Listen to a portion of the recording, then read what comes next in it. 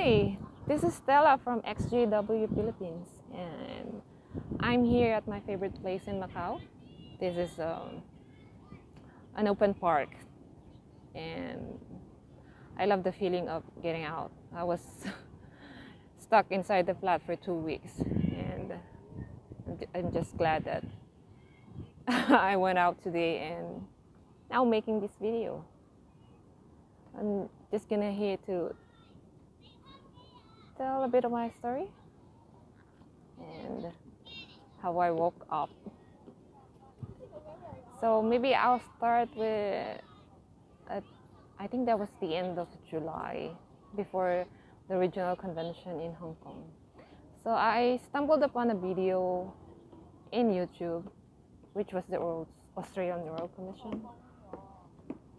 And um, I didn't know it was the Australian Royal Commission. I had no idea what the Australian Royal Commission was.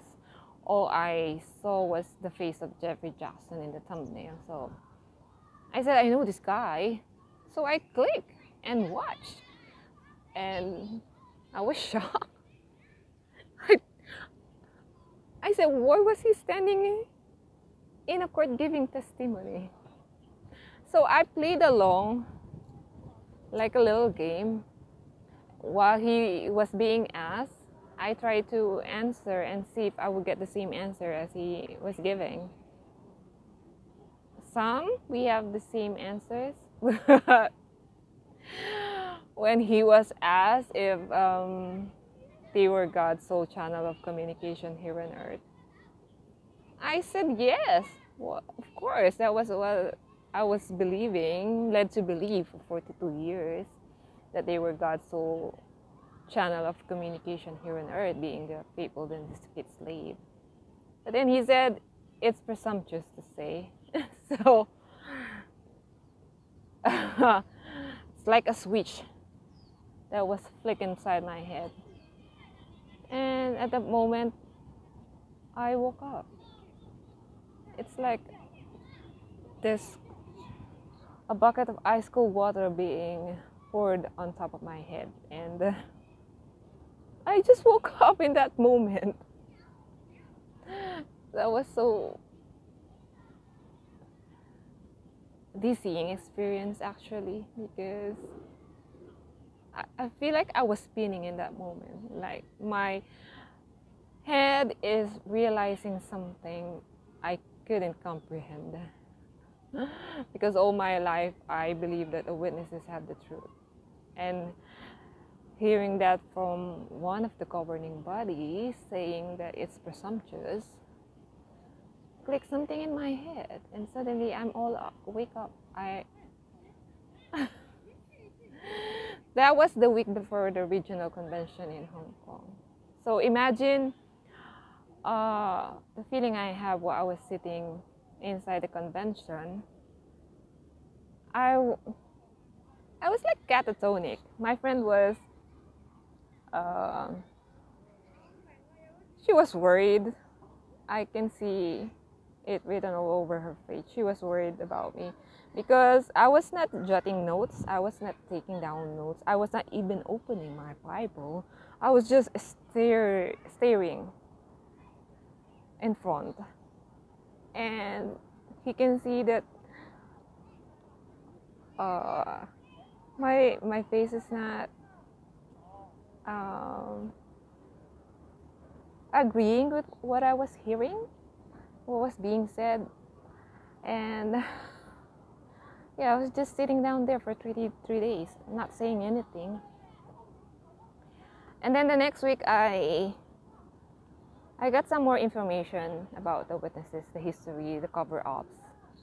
So I started asking her, my, my closest friend, just giving her some something, some insights of what's going inside my, my head. But I'm I didn't tell her everything yet. I'm just starting, you know, um, just asking questions and uh, so so she told me yeah she she was worried when I was uh, when we were at the convention and I was not opening my Bible, I was writing anything. I was just sitting down. and then I skipped the meeting next the next week after that. Started skipping going to field service and so I had a chat with my dad eh, during those awakening moments of my life and he I don't know where to go to. I, I was so confused because oh, when you start waking up and you find so many things that are so outrageous and you want to rationalize things but you can't because there's so much evidence. So yeah i tried speaking up to my dad and telling him everything and he said he urged me to go have a talk with one of the elders here in macau. So i said okay i, I, I will try and talk to, to one of the elders. But my friend who was worried about me having these questions and doubts inside me, she went ahead to the elders and and gave a, a written letter that I gave to her that contains all of my doubts. She she gave it to the elder and she didn't even read what's in that, which was disappointing. She didn't hear what's inside. Really, she didn't read what's inside, and she just gave it to the elder because she said she was worried. But all I can think of is she wanted to clean her hands, wash her hands, and have nothing have nothing to do with me. So I had a chat with the with the elder here, and that was, I think, October 2018. He was from Australia. Funny. He said that his family knows Geoffrey Jackson. They came from the same place in Australia, and he said that um, Geoffrey Jackson went to the commission on his own accord, which was a lie because I found out that Geoffrey Jackson was summoned to the commission. would not go there on his own. My goodness, though.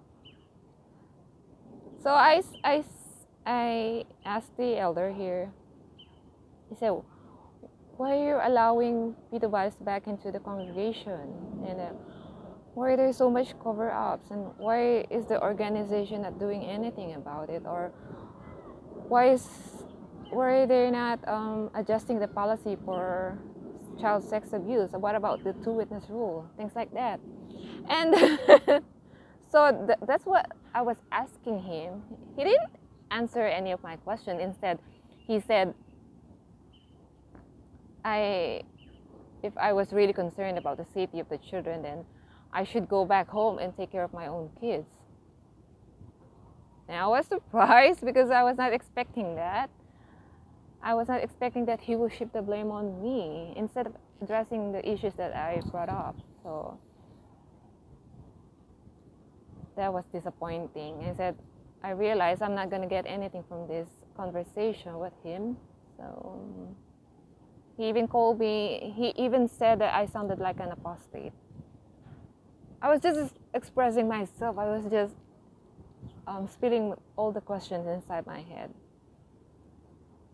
He said, uh, "Yeah, I have no rights to question the organization about the safety of children because I myself was not doing that."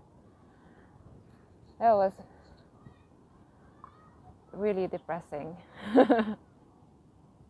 made me feel bad about my own children, not me being there for my own children. He said uh, I should go attend the meeting after the the conversation, which I declined because honestly I was pissed off about what happened because he didn't give he didn't give me clear answer what the of the questions that I I questioned him. Instead, he he shifted the blame on me. So why would I attend the meeting? I was not up to it. And he said maybe the next week he will bring another elder and they will have a chat with me and uh, probably clear up my head. But something came up to my head, it, it rang something, and I said, I, I don't feel good about it. Maybe my gut feeling saying that he is bringing another witness so he could uh, have an allegation about me being an apostate. So I skipped the meetings again and again. And then the next month, because they, they keep um, calling me, ringing me, sending me messages about my field service report. Even the circuit officer ringing me and sending me messages, wanting to meet up with me. But my mind, at, I think at that time, my mind was really made up. So I sent a letter uh, dated, dating November 20, 2018. I sent my letter of disassociation and they read it on Friday meeting. And what's the sad thing about it is that everybody thought that I was disfellowship for something else. Uh, nobody really knows what happened because uh, the elders uh, stopped my friends from talking about the questions I brought up. So in some ways, they hush it up. So nobody really understood why I disassociated, or they, they think most probably I got disfellowship for immoral activities. So, yeah. Uh, that, that was the lonely, those were the lonely days of my life after I disassociating. I have lost every one of my friends in the congregation. I miss the community, I miss the association. And at the beginning of 2019, I have nobody, really. I have no physical friends. I can't even find one single XJW from the Philippines. There's no group for Filipino XJWs. So I decided I will form a group, even though it's all by myself. I said, if nobody is out there then I um, will make one. So if anybody would search for a community for XJWs in the Philippines, they, they would find one. So I decided to, to form a group, invited my kids. They were also supportive of me. They were so happy that I woke up even though they were raised up as witnesses, but they woke up ahead of me and they were so glad that I was no longer a witness. And then I had a talk with my sister. I explained to her why I disassociated. Even though she's not fully convinced, she supported me along with one of her daughters. And then I reached out to uh, the nephew and the niece of my husband. I'm separated, by the way. So it's a good feeling that they supported me as well. Uh, so at the beginning, we had eight members for the group, and for so many months, I there's nobody joining in. No, no. it's like yeah, very lonely. But I didn't let up. I, I didn't give up. I still earnestly went into so many sites YouTube, Facebook, even Reddit trying to find um, Filipino XJWs. And um, one by one, I get to meet them and ask them if they could join me and others in the group. And uh, I feel so happy that there are um, Filipino witnesses who are waking up and joining joining our group and um, giving their voices and expressing what they're going through and them finding support with each other. And I feel that waking up and coming forward as an XJW is all worthwhile. Seeing that there's people out there who are waking up and giving me hope that someday um, my parents will wake up too. But as for now, it I really am so glad, even though I have no physical friends here. I have friends everywhere in the world. There are so many activists and XJWs that are very supportive and very loving, and uh, it really is encouraging to just connect and um, uh, express myself and find out that I'm not going out of my mind. And I, what I'm going through is normal waking up moments and uh, also in some ways I'm providing support to other um, ex-witnesses and yeah it gives me purpose and feels good to have a new community of XJWs and not being by myself anymore. And I'm just overwhelmed that people are waking up and hope it will continue and many more uh, from the Philippines will wake up and find the truth about the truth. Anyways, um, this video is taking long and um, I just hope that in some ways um, my story will help somebody out there and will reach out to us here um, from the XJW Philippines community. Please join our group and uh, we'll be here for you. If you need support, somebody to listen to, somebody to talk to, we are here for you. And um, any questions, any doubts that you have, um, we can help you to clarify them and help you find sources and um, or just merely just have someone to talk to. We'll be here for you. And um, just keep um, keep the hopes up.